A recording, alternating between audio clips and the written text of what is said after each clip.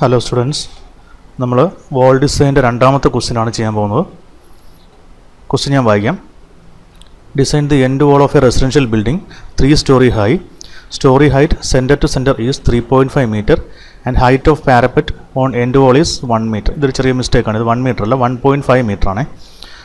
The roof slab is one fifty millimetre thick and floor slabs are one twenty millimetre thick roof covering weighs 2 kilonewton per meter square.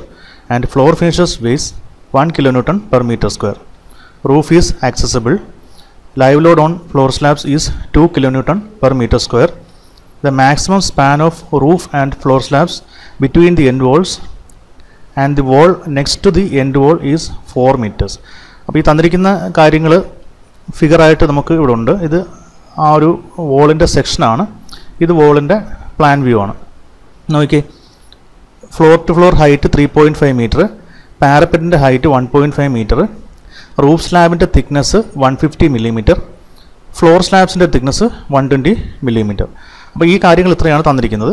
പിന്നെ കവറിങ്ങിന്റെയൊക്കെ വെയിറ്റും പറഞ്ഞിട്ടുണ്ട്. ഇവിടെ നമ്മൾ നേരത്തെ ചെയ്ത ക്വസ്റ്റ്യനിൽ നിന്ന് വ്യത്യസ്തമായിട്ട് നമ്മൾ ഡയറക്റ്റായിട്ട് ലോഡ് തന്നിട്ടില്ല. നമ്മൾ ഈ വാല്യൂസ് വെച്ചിട്ട് ലോഡ് കണ്ടുപിടിക്കുക. എത്ര എത്രത്തോളം ലോഡാണ് ഈ ഒരു വോളിൽ വരുന്നതെന്ന് നമ്മൾ കണ്ടുപിടിക്കുകയാണ് ചെയ്യുന്നത്. ആ ഒരു ഡിഫറൻസ് മാത്രമേ ഉള്ളൂ.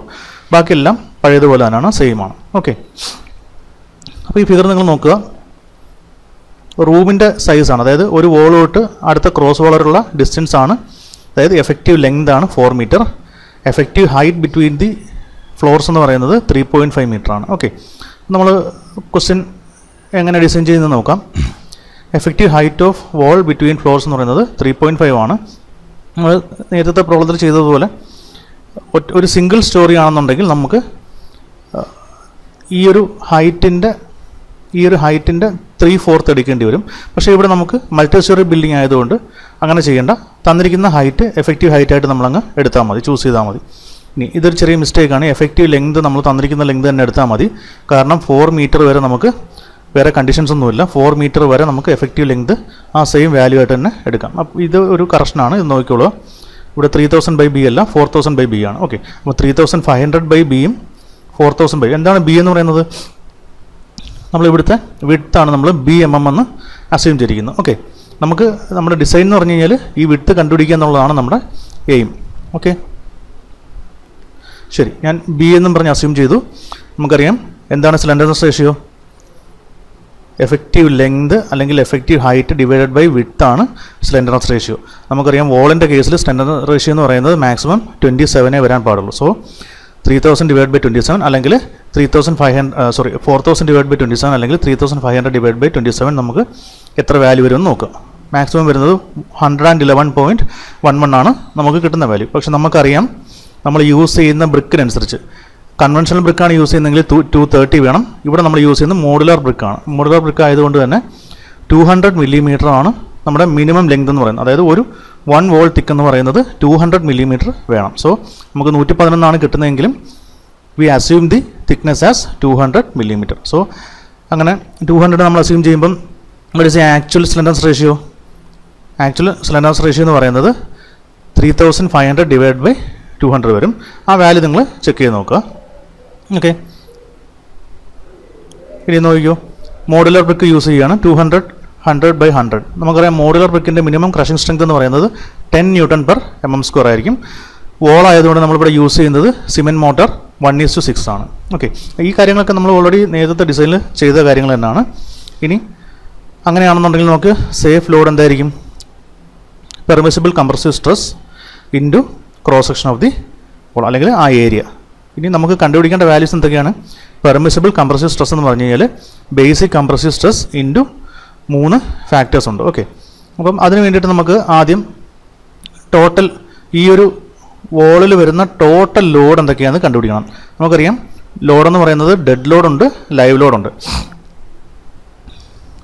ആദ്യം നമുക്ക് ഡെഡ് ലോഡ് ചെക്ക് ചെയ്യാം. ഓക്കെ ഡെഡ് ലോഡ് എന്ന് പറയുമ്പോഴത്തേക്കും നമുക്കറിയാം self weight of the wall including parapet ഈ ഒരു വോളിന്റെ മൊത്തത്തിലുള്ള സെൽഫ് വെയിറ്റ് മൊത്തത്തിലുള്ള സെൽഫ് വെയിറ്റ് എങ്ങനെ കണ്ടുപിടിക്കാം? ടോട്ടൽ ഹൈറ്റ് ടോട്ടൽ ഹൈറ്റ് എന്ന് പറയുമ്പോൾ three point five plus three point five plus three point five plus one point five എത്ര വരും? Ten point five plus one point five twelve metre height വരും. Twelve metre height ഇനി നമുക്കറിയാം to hundred millimetre ആണ് നമ്മൾ thickness ആയിട്ട് കണ്ടുപിടിച്ചത് minimum thickness നമ്മൾ ടു ഹൺഡ്രഡ് ആയിട്ട് എടുത്തു. അങ്ങനെ മിനിമം തിക്നെസ് ടു ഹൺഡ്രഡ് വരുമ്പോഴത്തേക്കും ടു ഹൺഡ്രഡ് പ്ലസ് പ്ലാസ്റ്ററിങ്ങിന്റെ തിക്നെസ്സും കൂടെ ചേർത്തിട്ടാണ് നമ്മൾ ടു തേർട്ടി എന്ന് വരും. ടു ഹൺഡ്രഡ് പ്ലസ് പ്ലാ രണ്ട് സൈഡിലുള്ള പ്ലാസ്റ്ററിങ്ങിന്റെ തിക്നെസ് അങ്ങനെ ടു തേർട്ടി വരും. അതാണ് ഇവിടെ സീറോ പോയിന്റ് ടു ത്രീ കൊണ്ട് മൾട്ടിപ്ലൈ ആയിരിക്കുന്നത് ഓക്കെ നമ്മളെപ്പോഴും വോൾ ഡിസൈൻ ചെയ്യുന്നത് വൺ മീറ്റർ ലെങ്തിന് വേണ്ടിയിട്ടാണ് ഡിസൈൻ ചെയ്യുന്നത്. അതുകൊണ്ട് തന്നെ ഇവിടെ one metre one metre length into twelve metre height ഇനി തിക്നെസ് എന്ന് പറയുന്നത് സീറോ പോയിന്റ് ടു ത്രീ അപ്പം ഇത്രയും ചെയ്യുമ്പോൾ നമുക്ക് ഈ ഒരു വോളിന്റെ വോളിയം കിട്ടും. അല്ലേ? വൺ മീറ്റർ അങ്ങോട്ടുള്ള ലെങ്ത് പിന്നെ twelve metre height thickness two thirty two thirty എന്ന് പറയുന്നത് ടു ഹൺഡ്രഡ് പ്ലസ് രണ്ട് സൈഡിലെയും പ്ലാസ്റ്ററിങ്ങിന്റെ തിക്നെസ്സും കൂടെ ചേർത്തിട്ടാണ് നമുക്ക് ടു തേർട്ടി വരുന്നത്. ഓക്കെ അപ്പം നമുക്ക് വോളിന്റെ ടോട്ടൽ വോളിയമായി നമുക്കറിയാം. നമ്മളെപ്പോഴും ബ്രിക്കിന്റെ യൂണിറ്റ് വെയിറ്റ് എന്ന് പറയുന്നത് nineteen point two kilonewton per metre cube ആയിട്ടാണ് നമ്മൾ അസ്യൂം ചെയ്യുന്നത്. ആ വാല്യൂ നിങ്ങൾ പഠിച്ചു വെച്ചേക്കുക. Nineteen point two kilo newton per metre cube എന്ന് പറയുന്നത് യൂണിറ്റ് വെയിറ്റ് ഓഫ് മേസൻട്രി ആണ്. ആ വോളിന്റെ യൂണിറ്റ് വെയിറ്റ് എന്ന് പറയുന്നത് ആ വാല്യൂ ആണ്. ഓക്കെ സോ അതുമായിട്ട് മൾട്ടിപ്ലൈ ചെയ്യുമ്പോൾ നമുക്ക് total self weight of the wall കിട്ടും. ഈ ഒരു വോളിന്റെ ടോട്ടൽ സെൽഫ് വെയിറ്റ് നമുക്ക് കിട്ടും. That is fifty two point nine nine kilo newton എന്ന് കിട്ടി. ഇനി വെയിറ്റ് ഓഫ് റൂഫ് സ്ലാബ് നോക്കിയേ. ഇതാണ് റൂഫ് സ്ലാബ് റൂഫ് സ്ലാബിന് എത്രയാണ് തിക്നെസ് പറഞ്ഞിരിക്കുന്നത്? റൂഫ് സ്ലാബിന്റെ തിക്നെസ് വൺ ഫിഫ്റ്റി മില്ലിമീറ്റർ എന്നാണ് പറഞ്ഞിരിക്കുന്നത്. ഓക്കെ. വൺ ഫിഫ്റ്റി അതായത് പോയിന്റ് വൺ ഫൈവ് ആണ് അതിന്റെ തിക്നെസ് ഇനി എന്താണ് ഈ ടു എന്ന് പറയുന്നത്? നമുക്കറിയാം ഒരു ക്രോസ് വോൾസ് തമ്മിലുള്ള ഡിസ്റ്റൻസ് ഫോർ ആണ്. അപ്പം ആ ഫോർ മീറ്ററിന്റെ പകുതി ഈ വോളിലും പകുതി ഈ വോളിലോട്ടും എടുക്കുന്നു എന്നുള്ളൊരു അസംഷനിലാണ് നമ്മൾ ടു മീറ്റർ എടുത്തത്. ഓക്കെ. അപ്പം വൺ മീറ്റർ ലെങ്ത് ടു മീറ്ററും രണ്ട് ക്രോസ് വോൾസിനിടയ്ക്കുള്ള ആ ടോട്ടൽ വോളിന് ഞാൻ ടു മീറ്റർ ഇങ്ങോട്ടും ടു മീറ്റർ ഇങ്ങോട്ടും ആണെന്നുള്ളൊരു അസംഷനിലാണ് ടു മീറ്റർ എന്ന് കിട്ടിയത്. So one into two into thickness zero point one five പിന്നെ what is twenty five twenty five എന്ന് പറഞ്ഞാൽ എന്താണ്?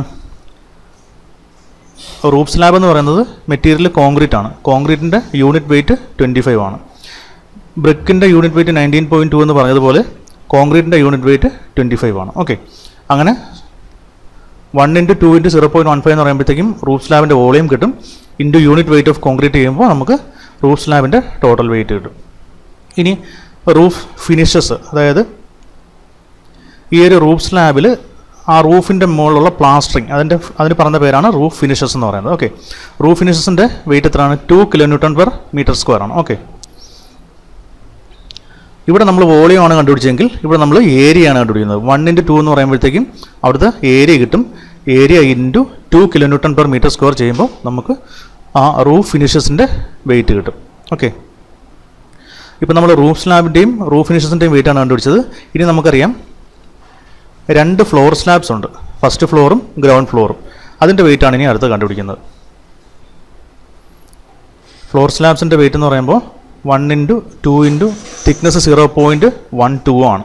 വൺ ട്വന്റി എം എം ആയതുകൊണ്ട് പോയിന്റ് വൺ ടു ആണ് തിക്നെസ് ട്വന്റി ഫൈവ് എന്ന് പറയുന്നത് യൂണിറ്റ് വെയിറ്റ് ഓഫ് കോൺക്രീറ്റ് രണ്ട് ഫ്ലോർ സ്ലാബ് ഉള്ളതുകൊണ്ടാണ് ഈ ടു മൾട്ടിപ്ലൈ ചെയ്തിരിക്കുന്നത്. ഇത് volume into unit weight into രണ്ട് സ്ലാബ് ഉള്ളതുകൊണ്ടാണ് ടു മൾട്ടിപ്ലൈ ചെയ്യുന്നത്. അപ്പം ടോട്ടൽ നമുക്ക് ട്വൽവ് കിലോമീറ്റർ കിട്ടും. അതുപോലെ ഫ്ലോർ ഫിനിഷസിന്റെ വെയിറ്റും one into two into one kilometre per metre square ആണ്. One kilometre per metre square ആണ് ഫ്ലോർ ഫിനിഷസിന്റെ യൂണിറ്റ് വെയിറ്റ് പറയുന്നത്. So one into two into one അതുപോലെ രണ്ട് സ്ലാബ് ഉള്ളതുകൊണ്ടാണ് നമുക്ക് ഇവിടെ ടു മൾട്ടിപ്ലൈ ആയിരിക്കുന്നത് ഓക്കെ അപ്പോൾ നമുക്ക് ടോട്ടൽ ഫ്ലോർ ഫിനിഷസിന്റെയും വെയിറ്റ് കിട്ടി. ഈ വെയിറ്റ് എല്ലാം കൂടി ആഡ് ചെയ്യുമ്പോഴാണ് നമുക്ക് ടോട്ടൽ ഡെഡ് ലോഡ് കിട്ടുന്നത്. ആ ഒരു വോളിൽ ആക്ട് ചെയ്യുന്ന ടോട്ടൽ ഡെഡ് ലോഡ് എന്ന് പറയുന്നത് എയ്റ്റി പോയിന്റ് ഫോർ നയൻ കിട്ടും. ഇനി അടുത്തത് ലൈവ് ലോഡാണ് ഓക്കെ ലൈവ് ലോഡ് എന്ന് പറയുന്നത് ലൈവ് ലോഡിന് ചെറിയൊരു റിഡക്ഷൻ ഉണ്ട്. അതായത്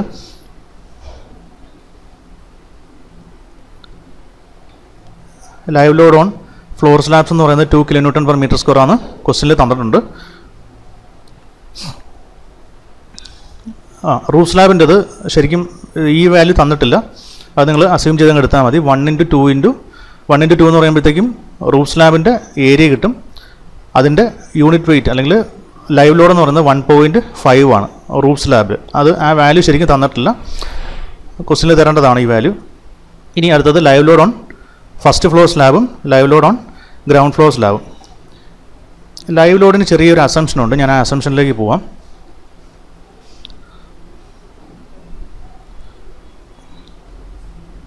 ശ്രദ്ധിക്കുക.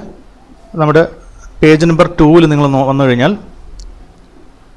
മൾട്ടി സ്റ്റോറേഡ് ബിൽഡിങ്ങിന് ലൈവ് ലോഡിന് ഒരു റിഡക്ഷൻ ഫാക്ടർ ഉണ്ട്. അതാണ് ഈ കാണിച്ചിരിക്കുന്നത്. റിഡക്ഷൻ ഇൻ ലൈവ് ലോഡാണ് റൂഫ് കൺസിഡർ ചെയ്യുമ്പോൾ zero percentage reduction first floor consider ചെയ്യുമ്പം ten percentage second storey consider ചെയ്യുമ്പോൾ twenty percentage third storey consider ചെയ്യുമ്പോൾ തേർട്ടി പെർസെന്റ് അങ്ങനെ അങ്ങനെ ഇൻക്രീസ് ചെയ്ത് ഇൻക്രീസ് ചെയ്ത് പോകും ലൈവ് ലോഡിന്റെ റിഡക്ഷൻ വാല്യൂ ഓക്കെ ഇനി നമുക്ക് ക്വസ്റ്റ്യനിലേക്ക് പോവാം.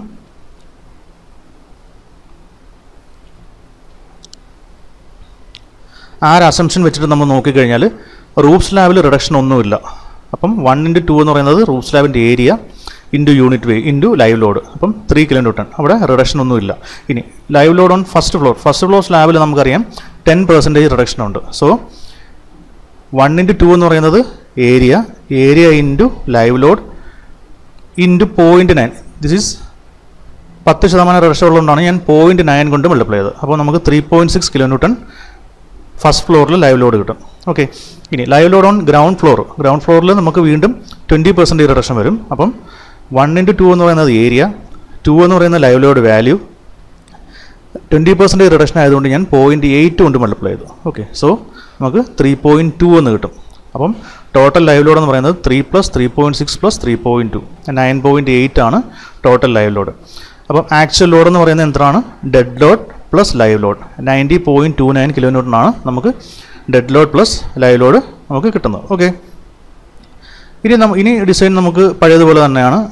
പെർമിസിബിൾ കംപ്രസീവ് സ്ട്രെസ് എന്ന് പറയുന്നത് ബേസിക് കംപ്രസീവ് സ്ട്രെസ് ഇന്റു മൂന്ന് ഫാക്ടേഴ്സ് കെ എസ് എന്ന് പറയുന്നത് എന്താണ്?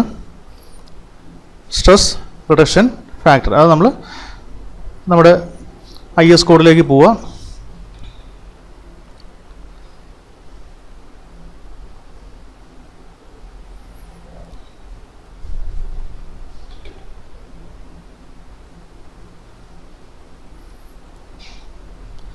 ഐ എസ് കോഡിലെ ടേബിൾ നമ്പർ എയ്റ്റിൽ നിന്ന് നമുക്ക് നമുക്ക് ബേസിക് കംപ്രസീവ് സ്ട്രെസ് വാല്യൂ കിട്ടും. ടേബിൾ നമ്പർ നയനിൽ നിന്ന് നമുക്ക് സ്ട്രെസ് റിഡക്ഷൻ ഫാക്ടർ കിട്ടും. Stress reduction factor zero point seven six കിട്ടി. Basic compressive stress zero point eight one കിട്ടി. ഇത് ഓൾറെഡി നമ്മൾ പില്ലറിലും വോളിലും എല്ലാം ഡിസൈൻ ചെയ്ത അതേ പ്രൊസീജിയർ തന്നെയാണ്. ആകെ ഒരു ഡിഫറൻസ് എന്ന് പറയുന്നത് ഈ ടോട്ടൽ ലോഡ് കണ്ടുപിടിക്കുന്ന ഒരു ഡിഫറൻസ് മാത്രമേ ഉള്ളൂ. ഓക്കെ അപ്പോൾ നമുക്ക് കെ എസ് എന്ന് പറയുന്നത് സീറോ പോയിന്റ് സെവൻ സിക്സ് കിട്ടി. ഏരിയ ഡയറക്ഷൻ ഫാക്ടർ നമ്മൾ ഇക്വേഷനിൽ സബ്സ്റ്റിറ്റ്യൂട്ട് ചെയ്തപ്പോൾ നമുക്ക് വൺ തന്നെ കിട്ടി. ഷേപ്പ് മോഡിഫിക്കേഷൻ ഫാക്ടറും നമ്മൾ ടേബിൾ നമ്പർ ടേബിൾ നമ്പർ ടെന്നിൽ നിന്ന് നമുക്ക് ഷേപ്പ് മോഡിഫിക്കേഷൻ ഫാക്ടർ കിട്ടും. So basic compressive stress into zero point seven six എന്ന് പറയുന്നത് stress reduction factor one area reduction factor shape modification factor one point one substitute ചെയ്യുമ്പോൾ നമുക്ക് zero point six one newton per M M സ്ക്വയർന്ന് കിട്ടും. So actual load carrying capacity എന്ന് പറയുന്നത് zero point six one into area area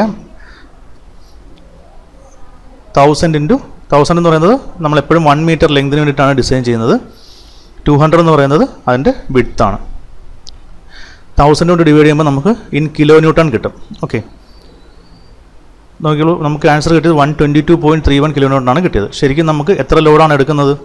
Ninety point two nine kilo newton മാത്രമേ നമുക്ക് ആവശ്യമുള്ളൂ.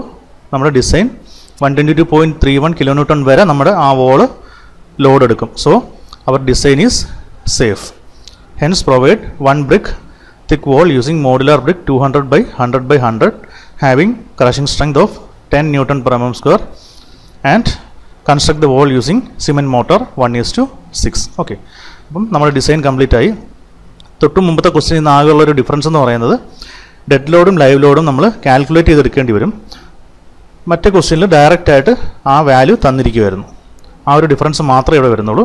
അതിനകത്ത് അതിന് നിങ്ങൾക്ക് ഈ ഫിഗർ യൂസ് ചെയ്തിട്ട് കാൽക്കുലേറ്റ് ചെയ്തെടുക്കാം. ഓക്കെ ഡിസൈൻ എല്ലാവരും ക്ലിയർ ആയെന്ന് മനസ്സ് വിചാരിക്കുന്നു. ഇനി നമ്മുടെ ഫസ്റ്റ് മൊഡ്യൂളിന്റെ ഫസ്റ്റ് മൊഡ്യൂൾ കംപ്ലീറ്റ് ആയി രണ്ട് എക്സസൈസസ് ഉണ്ട്. ഇതാണ് നിങ്ങളുടെ അസൈൻമെന്റ് ഞാൻ ഈ ക്വസ്റ്റ്യൻ അസൈൻമെന്റ് ക്വസ്റ്റ്യനായിട്ട് തരാം. ഇത് കൂടാതെ ഒരു ചെറിയൊരു തിയറി ക്വസ്റ്റ്യനും കൂടി അസൈൻമെന്റ് തരുന്നുണ്ട്. ആ തിയറി ക്വസ്റ്റ്യൻ നിങ്ങൾക്ക് ആൻസർ ചെയ്യാനുള്ള ഒരു ലിങ്ക് കൂടി ഞാൻ ക്ലാസ് റൂമിൽ ഷെയർ ചെയ്യാം. ഓക്കെ എല്ലാവർക്കും ക്ലിയർ ആയെന്ന് വിചാരിക്കുന്നു. താങ്ക്